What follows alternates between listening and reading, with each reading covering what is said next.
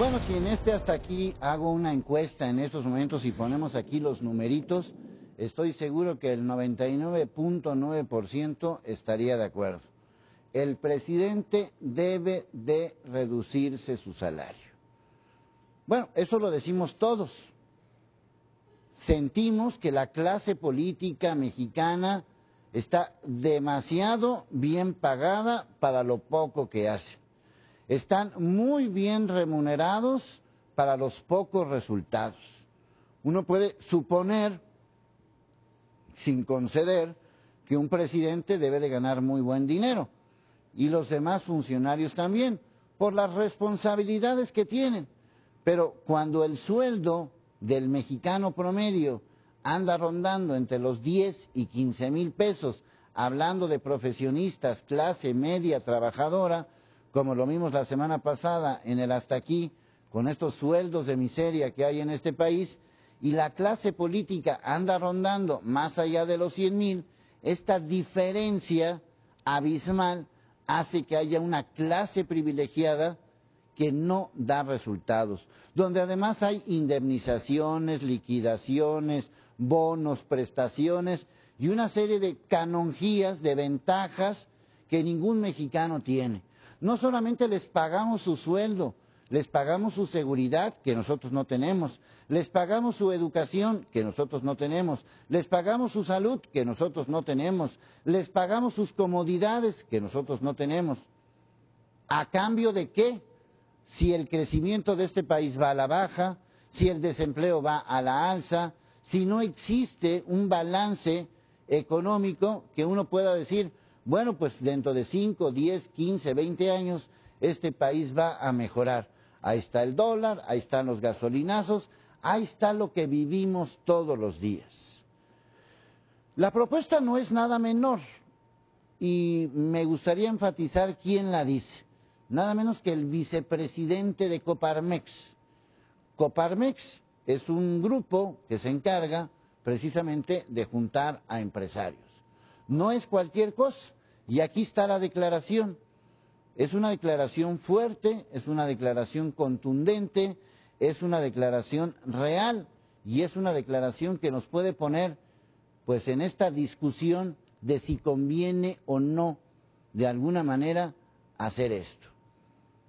Que el presidente defienda su partida de prestaciones a funcionarios, pero no quiere dar 20 mil millones de pesos, que es más o menos lo que costaría el poder deducir las pensiones que van a millones de mexicanos.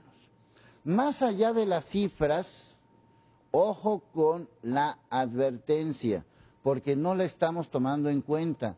Este tema pasó de noche durante este fin de semana.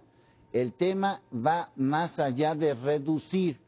La propuesta es que haya una reducción del 10%. Ok. Pero ¿cuál es la razón? La razón porque en el 2017 va a haber un recorte presupuestal que afecta, entre otros, ya lo vimos, educación, salud, el presupuesto de las mujeres para apoyar a las mujeres, presupuesto de ciencia, presupuesto de tecnología, una reducción de presupuesto.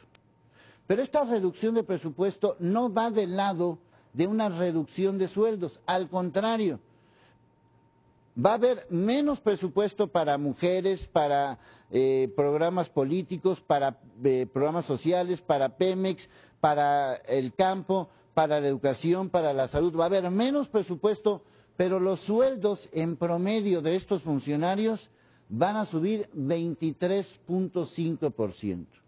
Esto significa en números redondos 86 mil millones de pesos más. Vamos a gastar más en sueldos y vamos a gastar menos o invertir menos en educación, en salud y todo lo que he estado diciendo. Pero el tema va más allá. Con este asunto de las pensiones, según lo que dice este señor de Coparmex, el mexicano promedio va a ver reducidas sus pensiones, reducidas. Si bien le va el mexicano promedio, va a obtener una pensión equivalente al 30% de su sueldo. Si tú te pensionas con 10 mil pesos, tu pensión va a ser de 3 mil. Si tu pensión, si tu sueldo es de 20 mil, tu pensión va a ser de 6 mil. Si te pensionas a los 60 años y tu nivel de vida, tu esperanza de vida es a los 76, vas a vivir, no sé cómo, 16 años con una reducción significativa de tu sueldo actual. Ese es el tema. Y ese es el tema que hay que analizar. Yo sé que hay otros asuntos más mediáticos, otros asuntos más urgentes, otros asuntos que ya estamos embobados con tanta cosa. Esto tiene que ver con nuestro futuro de todos los mexicanos.